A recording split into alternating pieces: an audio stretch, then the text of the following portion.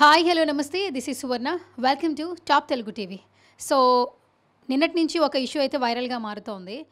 శ్రావణ భార్గవి ఎప్పుడైతే అన్నమయ్య సంకీర్తనని ఒక వీడియో రూపంలో సోషల్ మీడియాలో అప్లోడ్ చేశారో అటు అన్నమయ్య వంశస్థులు కూడా ఆమెపై కొంతవరకు విమర్శల దాడైతే చేయడం జరిగింది. ఆ వీడియో వెంటనే డిలీట్ చేయాలి. కొంచెం హిందుత్వ సంఘాలు దెబ్బతినేలాగా ఆ వీడియో ఉంది కాబట్టి డిలీట్ చేయాలని కోరడం జరిగింది. కానీ శ్రావణ భార్గవి మాత్రం మీరు చూస్తే చూపులోనే తప్పుందిగా నేను తప్పుగా బిహేవ్ చేయలేదు అని ఆవిడ ఆమె సమర్థించుకున్న సందర్భాలు మనం చూసాం. కానీ ఈ వీడియో తర్వాత సామాజిక కార్యకర్త కృష్ణకుమారి గారు గత కొన్ని రోజుల నుంచి కూడా ఏ ఇష్యూ వచ్చినా కూడా మీడియా ముందు తన యొక్క భావాల్ని వినిపిస్తూ ఉంటారు తన వాయిస్ని రేస్ చేస్తూ ఉంటారు. అటు పొలిటికల్గా కానీ ఇటు సామాజికంగా కానీ కానీ శ్వేతారెడ్డి నిన్న రిలీజ్ చేసిన ఒక వీడియో వైరల్గా మారింది. సామాజిక కార్యకర్త నువ్వేం చేస్తున్నావని సూటిగా చాలా ముక్కుసూటిగా కొన్ని విమర్శలు కూడా చేశారు. వన్ టు వన్ కాంట్రవర్సీ కింద మాట్లాడిన సందర్భాలు కూడా ఉన్నాయి. రైట్ మనతో పాటు సామాజిక కార్యకర్త కృష్ణకుమారి గారు ఉన్నారు. అసలు శ్వేతారెడ్డి చేసినటువంటి సంచలన వ్యాఖ్యలకి ఆవిడ కౌంటర్ ఏంటి? ఆవిడ స్పందన ఏంటి? నిన్న మాట్లాడిన మాటల్ని ఆవిడ ఏ విధంగా తీసుకుంటున్నారు? ఆవిడ మాటల్లోనే విందాం. నమస్తే అండి. నమస్తే. సో ఎప్పుడు మిమ్మల్ని ఒక ఇష్యూ వస్తే మీ మాటను వింటూ మేము చూస్తూ ఉన్నాం. But for the first time ఇన్ని చాలా ఇయర్స్లో ఒక వ్యక్తి అంటే నిన్న శ్వేతారెడ్డి ఒక వీడియో రిలీజ్ చేసిన తర్వాత అది వైరల్గా మారింది. వైరల్గా మారడం అనేది పక్కన పెడితే వన్ టు వన్ మాట్లాడిన విషయాలే మనం చూస్తున్నాం ఏం చేస్తున్నావు కృష్ణకుమారి? సామాజిక కార్యకర్త? అని చెప్పి ఒక క్వశ్చన్ కూడా మేము చూస్తాం ఆ వీడియో తర్వాత. మీ స్పందన ఏంటి? అసలు ఏం చెప్తారు అసలు? నేను పెద్దగా వ్యాఖ్యానించాలనుకోవట్లేదండి. ఎందుకంటే ఈ మొత్తం దీంట్లో వాళ్ళ అవగాహన లేమి వాళ్ళ అక్కసు కనిపిస్తుంది నేను పేద ప్రజలకి ఇబ్బందికరమైన జిఎస్టీ ఇట్లాంటి సమస్యలు ఏమన్నా ఉంటే మనం వాటిల్ని మనం ప్రశ్నించాలి కానీ ఇప్పుడు మనకి మన నెత్తి మీద కూర్చున్న పరిస్థితిని మనం ఎట్ ఏం చేయాలి ఎట్లా చేయాలి అనే దాని గురించి అని చెప్పి నేను మాట్లాడితే ఆవిడ వేరే రకంగా అర్థం చేసుకున్నారని నేను అనుకుంటున్నా. ఎందుకంటే ఇప్పుడు మేము మహిళా సంఘాలుగా సోషల్ యాక్టివిస్టులుగా మేము పనిచేస్తున్న విభాగాలు ఏవేవైతే ఉన్నాయో అవన్నీ వాళ్ళు తెలుసుకుంటే మంచిది అనుకుంటున్నాను దేవి గురించి సంధ్య గురించి వాళ్ళు చేస్తున్న కార్యక్రమాల పట్ల అవహేళన చేస్తా ఎంత ట్రోలింగ్ నడిచిందో వాళ్ళ వ్యక్తిగత జీవితాల్లోకి మొత్తం చొచ్చుకెళ్ళి అన్ని అవాస్తవాలు అబద్ధాలు ప్రచారం చేస్తున్నప్పుడు మరి ఈవిడికి వాళ్ళ మీద అంత గౌరవం మ- మర్యాద అవన్నీ ఉంటే గనక ఆ రోజు ఎందుకు మాట్లాడలేదండి? ఇవాళ నేను ఇది మాట్లాడేసరికి వాళ్ళేదో చాలా మంచివాళ్ళు వాళ్ళు చాలా సామాజిక కార్యక్రమాలు చేస్తున్నారు నువ్వేం చేస్తున్నావు అని అడిగింది. ఇక్కడనే నాకు చాలా హాస్యాస్పదంగా ఉంది. ఎందుకంటే అసలు మేము అందరం కలిసి పనిచేస్తున్నాం. మేము ఒక సంఘంగా పనిచేస్తున్నాం. ఇప్పుడైనా సరే మేము సంఘాలంగా ఒక మాట మీద మేమందరం కలిసి పనిచేస్తాం కానీ ఈ విధంగా వ్యక్తిగతంగా వ్యక్తులు వ్యక్తులుగా మాట్లాడడం అనేది మేము చెయ్యము అసలు. ఎందు గురించి చెయ్యము అంటే మేము చాలామంది అభాగ్యులకి చాలామంది నిస్సహాయులకి చాలామంది బాధితుల పక్షాన మేము ఉంటాం. ఎవరైతే ఉంటారో మైనార్టీలు ఎవరైతే ఉంటారో ఎస్సీ ఎస్టీలు ఎవరైతే ఉంటారో వాళ్ళందరికీ బాసటగా ఉంటాం మేము. మేము ఇంత అంత చెయ్యి అంత పెద్ద విషయాల్లో మేము చెయ్యాలి అంటే మేము వ్యక్తులుగా చేస్తే అది అయ్యే పని కాదు. ఇది చాలా మాకు తెలుసు. ఇది చాలా సుదీర్ఘ పోరాటం అని తెలుసు. అందుకే మేము ఒకళ్ళకొకళ్ళం ఐకమత్యంగా మా సంఘం తరఫున అంటే మా సంఘం అంటే అన్ని మహిళా సంఘాలు కలిసి జాయింట్ యాక్షన్ కమిటీ అని పెట్టుకున్నాం మేము. దాంట్లో ఉమెన్ ట్రాన్స్జెండర్ జేఏసీ అనమాట అది. అంటే మేమందరం కలిసి పనిచేసే దాంట్లో మేమందరం కలిసి ఎప్పటికప్పుడు సమావేశమయ్యి ఏదైనా ఒక సమస్య రాగానే క కలిసి కానీ జూమ్ మీటింగుల్లో కానీ మాట్లాడుకుని ఈ సమస్యకి ఎట్లా ఎలా మనము పోరాటం చేయాలి ఎలా బాధితులకి ఎలా న్యాయం చేయాలి అని ఆలోచిస్తూ ఉంటాం. మేమందరం కలిసే పనిచేస్తాం మమ్మల్ని ఎంత ట్రోలింగ్ చేసినా మమ్మల్ని ఎలా మాట్లాడినా ఏ విధంగా తీసుకున్నా మేము మట్టుకు మేము పనిచేసేది మేము మేము పనిచేసే వాళ్ళ కోసం మేము ఖచ్చితంగా పనిచేస్తాం ఇవాళ వ్యక్తిగతంగా ఒకరి సమస్య అని ఎవరన్నా అనుకుంటే కూడా ఏ సం వ్యక్తిగత సమస్యలకి సామాజిక సమస్యలకి పెద్ద తేడా ఉండదు. కాకపోతే ఏంటి అంటే సందర్భాన్ని బట్టి అది వ్యక్తిగతం అనిపిస్తుంది. కానీ ప్రతి వ్యక్తిగతం వెనక సామాజిక సమస్యలు ఉంటాయి. ప్రతి సామాజిక సమస్యలోనూ వ్యక్తిగత సమస్యలు కలిపి ఉంటాయి. ఈ రెండింటిని మేము విడివిడిగా చూడగలము. వీటి పరిష్కారాలు కూడా మేము సామూహికంగా సంఘంగా మాత్రమే చేస్తాము. ఎవరి ఏ మేము మేము ఏ కార్యక్రమం తీసుకున్నా మా వ్యక్తిగత నిర్ణయాలు ఉండవు అక్కడ. మేము అందరం కలిసి పనిచేస్తాం. మీకు ఎగ్జాంపుల్ చెప్పాలంటే నిన్న మొన్న జరిగిన సంఘటన. ఏదైతే ఉందో నాగరాజుని నాగరాజు అశ్రీన్ అనే మతాంతర వివాహం జరిగిందని చెప్పి అశ్రీన్ వాళ్ళ బ్రదరు వాళ్ళ బావ కలిసి ఆ అబ్బాయిని చంపేస్తే మేము ఇప్పుడు నాగరాజు కుటుంబానికి మేమెంత బాసటగా ఉన్నామో ఈ బీజేపీ వాళ్ళు కానీ లేకపోతే ఈ శ్వేతారెడ్డి కానీ వీళ్ళందరూ తెలుసుకోవాలి. మీరు వెళ్ళి ఆ కుటుంబాన్ని అడగ అడగండి ఎవరు వాళ్ళకి బాస బాసటగా ఉన్నారో. వాళ్ళ కన్నీళ్ళు ఎంత తుడిచామో వాళ్ళ వాళ్ళని ఎంత మేము ఎంత సహానుభూతిని ప్రకటించి మేము ఆ కుటుంబానికి మేము ఒకటే చెప్పాము మీరు ఏ రోజైతే మీకు ఉద్యోగం రావటం కానీ మీకు డబ్బులు రావడం కానీ అవన్నీ మీ హక్కు పొలం రావడం కానీ మీరు సమాజంలో ఉన్న ఒక రుగ్మతకు మీ మీ కుటుంబం బలైపోయింది. మీకు బలైపోయిన దానికి మీ అబ్బాయిని మీకు తెచ్చివ్వలేం కానీ మీకు ప్రభుత్వం ద్వారా రావాల్సినవి అన్నీ కూడా వాళ్ళకి అక్షరం ఒక రాదు వాళ్ళకి పక్క ఊరికి దారి తెలియదు అలాంటి వాళ్ళని వాళ్ళని తీసుకుని వచ్చి కలెక్టర్తో మాట్లాడించటము హోమ్ మినిస్టర్ని కల్పించటము అలాగే మహిళా కమిషన్ను కల్పించటము ఇవన్నీ చేసి ఆ- ఆ మదర్కి ఉద్యోగం వచ్చేటట్లు చేసి ప్రభుత్వం ప్రభుత్వం నుంచి రావాల్సిన డబ్బులు ఇప్పించాము. ఆల్రెడీ అయిపోయింది వచ్చేసినాయి. పొలం కూడా ఇప్పించి ఆ కుటుంబానికి ఆ కొడుకు లేని కొరతని ఆర్థిక కొరతను మాత్రమే మేము తీర్చగలం ఎంతో కొంత. అది ప్రభుత్వం చేసేటట్లుగా మే- మేము ఇండివిజువల్గా చేసే పనులు కాదు ఇవన్నీ. అవి కూడా ప్రభుత్వంతో పనిచేయించటమే. అవన్నీ మేము చేస్తాము. నేను ఈ సందర్భంగా కోరుకుంటుంది ఏంటంటే నేనేం పనులు చేస్తున్నాను నేను ఎలా చేస్తున్నాను నాకు సంబంధించిన అడ్రస్ కానీ లేకపోతే నా కార్యక్రమాల పట్టిక వివరాలు ఏమన్నా తెలుసుకోవాలనుకుంటే ఒక్కసారి ఉమెన్ కమిషన్ దగ్గరికి వెళ్ళి పలానా కృష్ణకుమారి ఎన్నిసార్లు ఉమెన్ కమిషన్ దగ్గరికి జాక్తో కలిసి వచ్చారు. ఏమేం పనులు చేస్తున్నారనేది అక్కడ కనుక్కుని అప్పుడు మాట్లాడితే నేను కొంచెం సంతోషిస్తాను. కానీ ఇప్పటికైనా చెప్తున్నాను ఒకటే మాట. మేం పనిచేసేది ప్రజల కోసం అమాయకులైన ప్రజల కోసం. ఈ ప్రభుత్వాల పనితీరు వల్ల పోలీసుల వల్ల కావచ్చు ప్రభుత్వాల వల్ల కానీ నష్టపోయిన పేద ప్రజల కోసం మాత్రమే మేము పనిచేస్తాము అలాగే మహిళలుగా అణగదొక్కబడుతున్న ఎవరైతే సమాజం చేత కావచ్చు లేకపోతే ఆధిపత్య భావజాలానికి బలైపోయే స్త్రీల గురించి మేము పనిచేస్తాము. అలాగే పురుషాధిక్యతతో అణగదొక్కాలనుకుంటున్న దానివల్ల నష్టపోతున్న మహిళల గురించి మేము పనిచేస్తాము. అందుకని మాకు ఇంత విస్తృత స్థాయిలో మా కార్యక్రమాలు ఉంటాయి కాబట్టి ఎప్పుడన్నా ఒకటి అరా కార్యక్రమం మా దృష్టి నుంచి తప్పించుకోవచ్చేమో కానీ మా మేము ఎప్పుడు కూడా ప్రజల కోసమే ఉంటాము ప్రజల్లోనే ఉంటాము. మేము ఇలా ఉండే సందర్భంలో మీ పార్టీల దగ్గర నుంచి మమ్మల్ని ట్రోల్ చేయకుండా ఉంటే చాలు. అదే మీరు మాకు ఇచ్చే సహాయ సహకారం. అయితే ఇంకొక విషయం ఏంటంటే కృష్ణకుమారి గారు ఆవిడ మాట్లాడిన మాటల్లో కొంతమంది ఏంటంటే కమెంట్స్ నెటిజన్స్ ఏమని చేస్తున్నారంటే మీరు పవిత్ర అలాగే నరేష్ గారి ఇష్యూ వచ్చినప్పుడు రమ్యని సపోర్ట్ చేసినట్టు మాట్లాడారంటూ మా కొన్ని మాటలు వచ్చాయి అయితే పవిత్ర కూడా లేడీయే అని సువితారెడ్డి స్మితారెడ్డి నిన్న వీడియోలో కూడా రిలీజ్ చేసింది.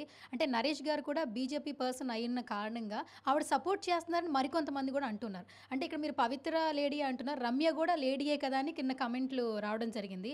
అంటే ఈ ఈ మాటని మీరు ఏ విధంగా తీసుకుంటారో ఆమెకు బదులు ఇవ్వాలంటే ఏం చెప్తారు? అంటే ఇక్కడ మనం ఆలోచించాల్సింది ఏంటంటేనండి ఇక్కడ నేను చెప్పింది ఏంటంటే పవిత్ర రమ్య ఇద్దరూ బలైపోతున్నారని చెప్పాను నేను. ఆ రోజు మొదటి భార్యకు విడాకులు ఇచ్చి రెండో భార్యని రెండో భార్యకు విడాకులు ఇచ్చి మూడో భార్యను చేసుకుని ఆ మూడో భార్యను కూడా ఆమెకు కూడా విడాకులు ఇచ్చి నాలుగో పెళ్ళి చేసుకోవాలనుకుంటున్నారా సహజీవనం చేయాలనుకుంటున్నారా అది నరేష్ ఇష్టం. మాకు దానిలో మాకేం అభ్యంతరం లేదు. కానీ మీరు చట్టం అనేది ఒకటి ఉంది రాజ్యాంగం అనేది ఒకటి ఉంది మనకి. దానికి లోబడి మాత్రమే ప్రవర్తించాలి. ఎందుకు? మీరు సినిమా యాక్టర్గా లేదంటే రాజకీయ పార్టీలో రాజకీయాల్లో ఉండి మీరు ఇవాళ ప్రజల్లో కళారంగం కావచ్చు రాజకీయ రంగం కావచ్చు మీరు ఒక ప్రజల్లో కనిపించే మనిషి ఒక గ్లామర్ ఉన్న మనిషి మీరు ఇలాంటి పని చేస్తే ప్రజలు ఏమనుకుంటారు? ప్రజలకు మీరు ఇచ్చే సందేశం ఏంటి అనే దాని గురించి మాత్రమే నేను మాట్లాడాను. పవిత్ర లోకేష్ కూడా అసలు ఆమె టాపిక్ ఎందుకు వచ్చింది అంటే మేమిద్దరం సహజీవనంలో ఉన్నాము అని ఆవిడ చెప్పి మాకు మీ మద్దతు కావాలి సమాజం నుంచి మద్దతు కావాలి అని అడిగారు. అడిగితే దానికి సందర్భి సందర్భంగా మనం ఏమన్నామంటే ఇప్పుడు మీరు తాళి బట్టిన కట్టిన భార్య ఒక పక్కన ఉండగా ఆ వివాహం రద్దు అవ్వకముందు మీరు సహజీవనం చెయ్యాలి అనుకుంటే మీ ఇష్టం చెయ్యండి కానీ సమాజం మద్దతు మీకు ఎలా వస్తుంది అని మాత్రమే మనం అడిగాం. వాళ్ళు ఎక్కడికి వెళ్ళారు పైగా మనం ఇంకొకటి కూడా ఏమన్నామంటే అసలు హోటల్ రూమ్ దగ్గరికి వెళ్ళి మీరు కొట్టాల్సింది లాగి కొట్టాల్సింది తన్నాల్సింది నరేష్ని పవిత్రని కాదు. ఇక్కడ మీకు సమాధానం చెప్పవలసిన బాధ్యత ఉన్నది నరేష్కి మీ భర్తగా. అంతేగాని పవిత్ర కాదు అని ఆమెకు మనం చెప్పాము మీరు ఇంతకంటే మంచి మాటలు కానీ ఇంతకంటే చట్టానికి లోబడి మాట్లాడడం మరి మాకు కూడా చేత కాదు. పైగా వ్యక్తిగత దాడులకి దిగొద్దు మీరు. మీ హక్కు ఏదైతే ఉందో చట్టపరంగా న్యాయపరంగా రాజ్యాంగపరంగా మీకు ఒక హక్కు ఉంది. హిందూ వివాహ చట్టం ప్రకారం. ఆ హక్కును మీరు సాధించుకోండి కానీ వేరే వ్యక్తుల మీద మీరు వ్యక్తిగతంగా మీరు వెళ్ళడం కరెక్ట్ కాదు అని మనం రమ్యకి చెప్పాము అది ఇక్కడ రమ్య పవిత్ర నేను విడివిడిగా చూడట్లేదండి. వీళ్ళిద్దరూ ఒక పురుషుడి నాటకానికి బలైపోతున్న వాళ్ళే. ఆ నరేష్ బీజేపీ పార్టీ కాబట్టి వాళ్ళకి ఏమైనా బాధ కలిగితే నేనేం చేయలేను.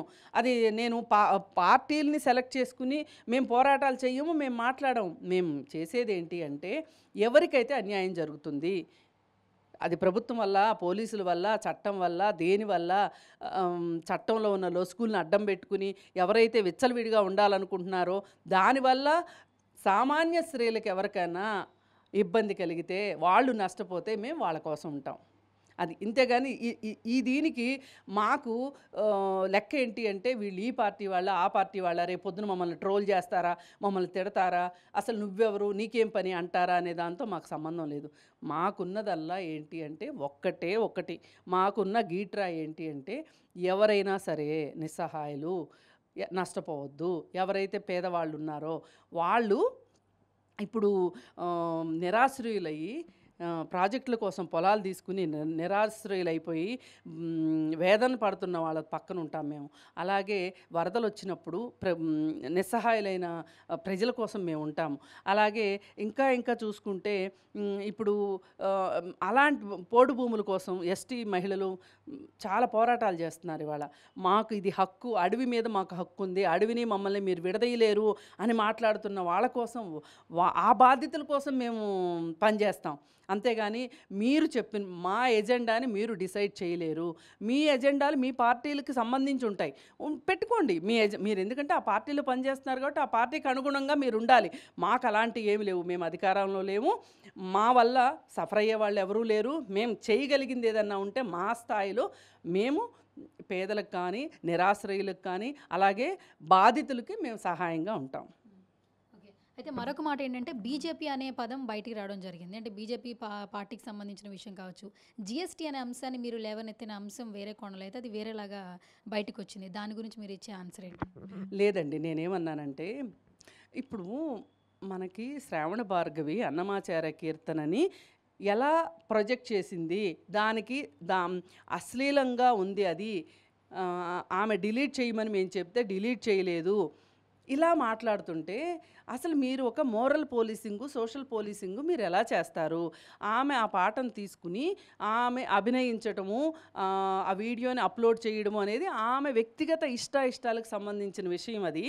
ఇవాళ దేశంలో చాలా సమస్యలు ఉన్నాయి ప్రజలు చాలా సమస్యలను ఎదుర్కొంటున్నారు. నిన్నగాక మొన్న జిఎస్టీ వచ్చింది. అది మజ్జిగ మీద పన్నీర్ మీద ప్యాకెట్ ఐటమ్స్ మీద జిఎస్టీ వచ్చింది. అయితే అసలు ఈ కొత్తగా జిఎస్టీ వచ్చిన సంగతి గురించి శ్వేతారెడ్డికి తెలిసినట్లేదు. ఆమె ఏమంటున్నారు ఎప్పుడో వచ్చిన జిఎస్టీ గురించి ఇప్పుడు ఎలా మాట్లాడుతున్నారు అంటున్నారు నాలుగు రోజుల క్రితం జిఎస్టీ వచ్చింది. పాల మీద పెరుగు మీద వెన్న మీద అలాగే పెరుగు ఏదైతే ప్యాక్డ్ ఐటమ్ ఉంటుందో ఆయిల్ ప్యాకెట్ల మీద కందిపప్పు మీద అన్నిటి మీద ఏదైతే ప్యాకెట్ ప్యాకింగ్ అవుతుందో దాని మీదల్లా జిఎస్టీ ఉంటుంది అని చెప్పి వచ్చింది. అది చూసి నేను మరి మనకి ఇంత సమస్యలు ఉన్నప్పుడు ఇది కదా అసలు నిజమైన పేదవాళ్ళకి సంబంధించింది కానీ మధ్యతరగతి కానీ దిగువ మధ్యతరగతి ఎదుర్కొనే సమస్య ఇది కదా. ఇప్పుడు ఇలా రేట్లు పెరుగుతాయండి. ఈ- ఈ రేట్లు పెరిగిన దాంతో ప్రకారం జీతాలు పెరగవు కదా ఎవరికైనా. ఆ వచ్చిన జీతంలోనే కదా వాళ్ళు చదివించుకోవాలా? పిల్లల్ని స్కూలుకు పంపించుకోవాలి తిండి పెట్టాలి. ఇన్ని ఉంటాయి కదా. మళ్ళీ అలాగే అనారోగ్యం వస్తే ఆరోగ్యం గురించి చూసుకోవాలా? మరి ఇన్ని సమస్యలు ఉన్నాయి ఇట్లాంటివి మనం తీసుకోవాలి. అసలైన సమస్యలు ఇవి. శ్రవణ భార్గవి ఏ పాట చేస్తే ఏమైంది అనే దాని గురించి నేను జిఎస్టీ గురించి మాట్లాడాను. మాట్లాడితే ప్రతి చోట అవగాహన లేమి కనిపిస్తుంది.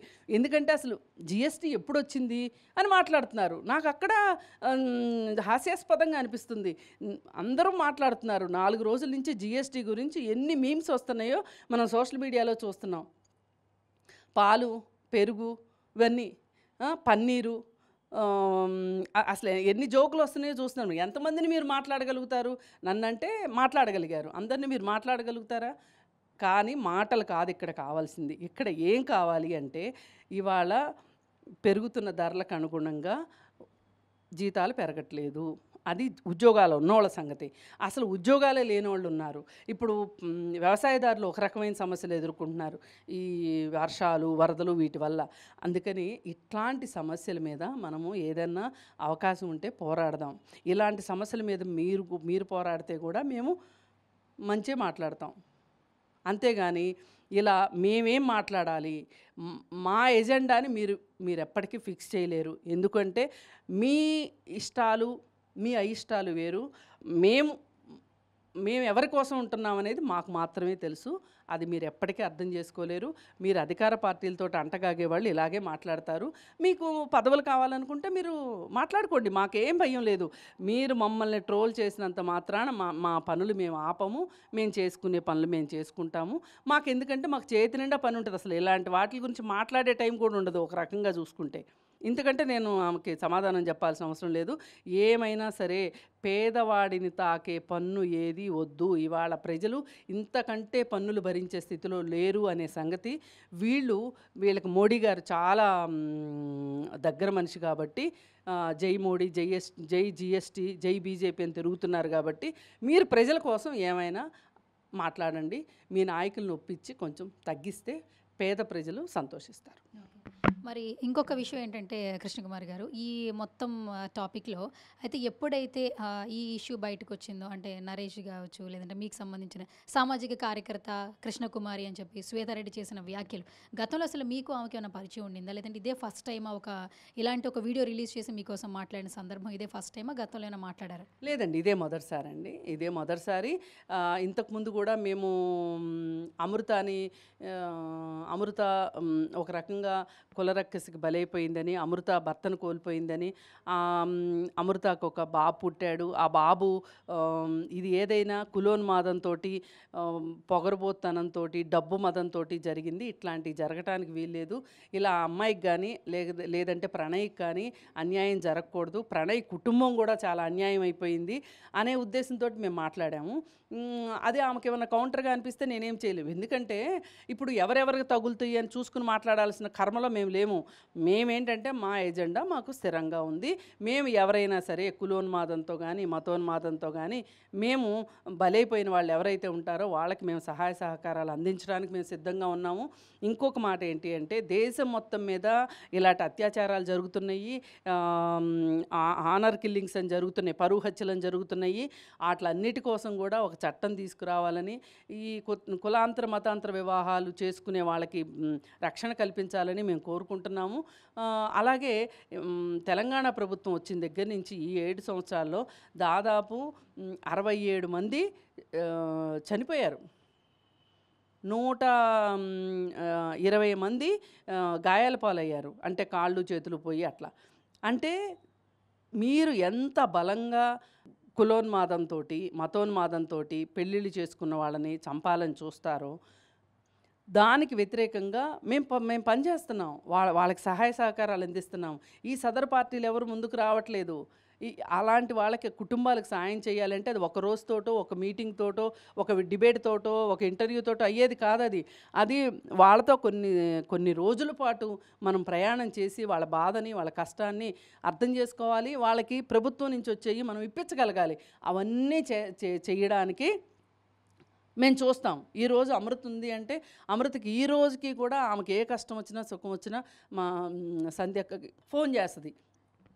అలాగే ఆంధ్రాలో కర్నూలులో ఒక అమ్మాయికి ఎట్లాగే జరిగితే ఆ అమ్మాయి భర్తను చంపేసేస్తే ఆ అమ్మాయికి ఉద్యోగం ఇప్పించారు. ఎట్లా? అంటే ఇదంతా ఒక కంటిన్యూస్ ప్రాసెస్ అనమాట మేము ఇలా పనుల్లో ఎక్కడన్నా మాకు వాళ్ళు తారసపడాల్సిందే కానీ మాకు వ్యక్తిగతంగా వాళ్ళతోటి ఎటువంటి పరిచయాలు లేవు ఎటువంటి విభేదాలు కూడా లేవు. అయితే ఇంకొక మాట ఏంటంటే ఓపెన్గా తను మాట్లాడిన మాటల్లో ఏమమ్మా సామాజిక కార్యకర్త కృష్ణకుమార్. ఇలా అయితే ఎవరు ఇప్పటి వరకు మిమ్మల్ని మాట్లాడిన సందర్భాలు లేవు కదా. సో ఆ ఆ మాటలు విన్నప్పుడు కానీ ఆ వీడియో చూసినప్పుడు కానీ మీకు ఏమనిపించింది ఒకవేళ శ్వేతారెడ్డికి ఏమైనా చెప్పాలంటే ఏం చెప్తారు? నిన్న ఈ వీడియో రిలీజ్ అయిన తర్వాత బయట నుంచి మీకు ఏమైనా కాల్స్ వచ్చాయా? అదేనండి. ఈ వీడియో చూసినప్పుడు నా ఫ్రెండ్స్ నాకు కాల్ చేశారు. నువ్వు ఎంత నిబద్ధతతో పనిచేస్తావు? ఇలా ఇలా మాట్లాడుతున్నారేంటి? అంటే ఇ- ఇది చాలా సామాన్యం. వాళ్ళు సమాధానం చెప్పుకోలేని పరిస్థితిలో ఉన్నప్పుడు ఇలా బెదిరించటాలు అలాగే పెద్ద గొంతుకులు వేసుకుని మాట్లాడాలు అంటే ఎప్పుడైనా బుకాయించడం అంటారు కదా అలాగే నేను చూస్తున్నాను తప్పితే వేరేగా ఏమీ లేదు. మా జేఏసీ ఫ్రెండ్స్ కూడా అదే చెప్పారు. మనం చేసే పనులే మనకి నిలబడతాయి మనని. ఇలాంటి వీడియోలు వస్తూ ఉంటాయి పోతూ ఉంటాయి. మనం ఏమి దాని గురించి భయపడక్కర్లేదు బాధపడక్కర్లేదు. మన పని మనం చేసుకుంటూ వెళ్ళిపోవటమే అని చెప్పి వాళ్ళు కూడా చెప్పటం జరిగింది. పైగా అసలు చాలామందికి కూడా ఒక రకంగా జేఏసీ అనేది ఒకటి ఉందని దాని కార్యక్రమాలు ఇలా ఉంటాయి అని కూడా ఈ సందర్భంగానే తెలుస్తుంది. అంటే న్యూస్లో వస్తూనే ఉంటాయి రెగ్యులర్గా. కానీ ఈ సందర్భంగా ఇంకా మరి కాస్తగా చెప్పినందుకు చెప్పే అవకాశం కల్పించినందుకు నేను శ్వేతారెడ్డికి థ్యాంక్స్ చెప్తున్నాను ఎస్ ఫైనల్గా మీ వీడియో రిలీజ్ చేసినది కొంతమంది కమెంట్స్ చేసిన విషయం ఏంటంటే మొన్న సాయి పల్లవి నిన్న శ్రావణ భార్గవి రేపు ఇంకెవరు అవుతారు? అంటే మనం చూసే దృష్టిలో కూడా కొంత ఉంటుందని కొంతమంది కొంతమంది పాజిటివ్ కమెంట్స్ పెడుతున్నారు కొంతమంది నెగిటివ్ కమెంట్స్ పెడుతున్నారు. మీ ఒపీనియన్ అండి బికాస్ ఆఫ్ శ్రావణ భార్గవి వీడియోకి సంబంధించి కావచ్చు నెటిజన్ల రెస్పాన్స్ కావచ్చు. ఇప్పుడు సాయి పల్లవి గారు అనింది ఏంటి అంటే నాకు పార్టీలతోటి ఆటలతోటి నాకేం సంబంధం లేదు. అంటే వివరణ ఇచ్చినప్పుడు సంగతి ఆవిడ చెప్పింది. నాకు ఒక డాక్టర్గా నాకు ప్రాణం విలువ తెలుసు. నా ప్రాణం ఎలా పోయినా సరే అది మంచికి పోయినా చెడుకు పోయినా ఎలా పోయినా ప్రాణం ప్రాణం కదా. ఆ- ఆ నేను మాట్లాడుతున్నాను. మనము ఒక విషయం గురించి ప్రశ్నించేటప్పుడు అదే తప్పు మనం మనం కూడా చేయకూడదు కదా. ప్రాణం ఎవరి ప్రాణమైనా ప్రాణమే కదా అన్న ఉద్దేశంతో సాయి పల్లవి మాట్లాడారు. చాలా అంటే మామూలుగా ఏంటంటే సినిమా యాక్టర్లు అనగానే వాళ్ళు ఏదో ఫ్యాషన్ డాల్స్ లాగా ఉంటారు. వాళ్ళకి మెదడు పనిచేయదు అని చెప్పి చాలాసార్లు చాలామంది అన్న సందర్భాలు ఉన్నాయి రాంగోపాల్ వర్మ లాంటి వాళ్ళు అన్న సందర్భాలను మెదరక్కర్లేదు ఆడవాళ్ళకి అని ఆయన కొన్నిసార్లు కామెంట్ చేశారు. కానీ సాయి పల్లవి ఒక మంచి యాక్టరు అలాగే సామాజిక స్పృహ ఉన్న యాక్టరు. మరి ఎంత సామాజిక స్పృహ లేకపోతే ఎక్కడైనా ప్రాణమే కదా. కాశ్మీర్లో జరగనివ్వండి కన్యాకుమారిలో జరగనివ్వండి హైదరాబాద్లో జరగనివ్వండి పల్లెటూరులో జరగనివ్వండి. ఎక్కడ జరిగినా ప్రాణం ప్రాణమే కదా. ప్రాణానికి ఒక విలువ ఉండాలి కదా.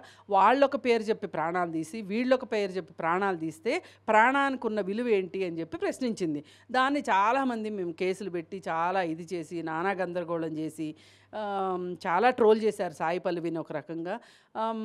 అలాగే ఇప్పుడు శ్రావణ భార్గవిని. అంటే ఇక్కడ మనం ఆలోచించాల్సింది ఏంటంటే మీరు ఎందుకు ఇంత ఓ ఓవర్గా రియాక్ట్ అవుతున్నారు? ఇప్పుడు నిజంగా అన్నమాచార్య కీర్తన్ని ఆమె అపహాస్యం పాలు చేస్తే ఆమె కాలగర్భంలో కలిసిపోతుంది. దాని గురించి మీరు ఎందుకు అన్- అంత రియాక్ట్ అవ్వాల్సిన అవసరం ఏంటి? ఇప్పుడు ఆమెకి తనదైన రీతిలో ఆమె ప్రజెంట్ చేసింది. ఆ వీడియోని తయారు చేసుకుంది. సోషల్ మీడియాలో అప్లోడ్ చేసింది. ఆ చేసినంత మాత్రాన అన్నమాచార్య కీర్తనకి అప్- దానికి ఉండాల్సిన విలువ పోతుందని మీరు ఎలా అనుకుంటారు? మరి అలాంటప్పుడు మేమందరం అడిగింది కూడా ఏంటంటే అన్నమయ్య సినిమాలో కావచ్చు లేకపోతే పాండురంగడు సినిమాలో కావచ్చు ఇంకో సినిమాలో ఇంకో సినిమాలో అన్నమయ్య కీర్తనలు పెట్టి సినిమా అంటే ఏంటండి? అశ్లీలం లేకుండా సినిమా ఉంటుందా? మరి అలాంటప్పుడు మరి దాని గురించి మనం ఏం మాట్లాడలేదు. అలాగే మన విశ్వనాథ్ గారు తీసిన సినిమాల్లో చివరికి ఇచ్చే సందేశాలు గొప్పగా ఉంటాయి కాదనే అనలేం మనం ఆ సినిమాలను తప్పుపట్టం. కానీ ఆ కథకి అనుగుణంగా వాళ్ళు మార్పులు చేర్పులు చేసుకుని కానీ అసలు విషయం ఏమి దెబ్బతిందు. పైగా ఇంకొకటి ఏంటి అంటే ఈ ఈ పాట మొత్తాన్ని మనము మామూలు ప్రజలు వాళ్ళ జీవితకాలంలో వాళ్ళు ఎలాగో అర్థం చేసుకోలేరు. ఎందుకంటే అది పాండిత్యం. అందరికీ రాదు కదా. దాన్ని మీరు అనవసరమైన ద వివాదం మీరు చేశారనిపిస్తుంది. ఆమె చేసిన వివాదం అని- అని మీరు అనుకుంటున్నారు కానీ మీరు చేస్తున్న వ్యాఖ్యల వల్ల ఇంకెక్కువ వివా వివాదాస్పదం అవుతుంది.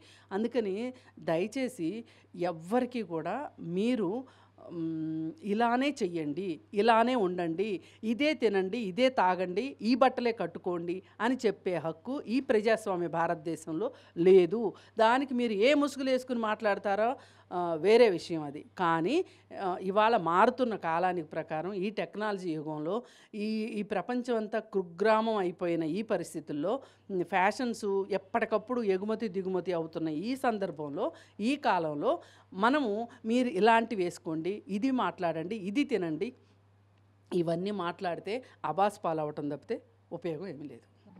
సో మొత్తానికి నిన్నటి నుంచి ఒక వీడియో వైరల్గా మారింది. శ్వేతారెడ్డి రిలీజ్ చేసినటువంటి వీడియో. సో కృష్ణకుమార్ గారు ఏం చెప్తారన్న ఒక క్యూరియాసిటీ కూడా అందరిలో నెలకొంది. చాలామంది కూడా వీడియో కింద పాజిటివ్ కామెంట్స్ పెట్టడం జరిగింది. సో తను చెప్పింది కేవలం ఎవరిని కించపరిచేలా కాదు తన భావాన్ని మాత్రం వ్యక్తపరిచానని కృష్ణకుమారి గారు అంటున్నారు. ఏ పార్టీకో ఏ మనిషికో నేను వత్తాసు పలకలేదని చాలా క్లియర్గా చెప్పడం జరుగుతుంది. సో ఇది వాళ్ళ స్పెషల్ ఎఫ్టీఎఫ్ కెమెరా పర్సన్ సాయితో సువర్ణ టాప్ తెలుగు టీవీ. ఈ కార్యక్రమాన్ని మీకు సమర్పించిన వారు గ్రీన్ మెట్రోస్ హరితవనం. సబ్స్క్రైబ్ చేయండి. Subscribe to please do subscribe to subscribe to please like share and subscribe to top Telugu TV top Telugu TV top Telugu TV top Telugu TV top Telugu TV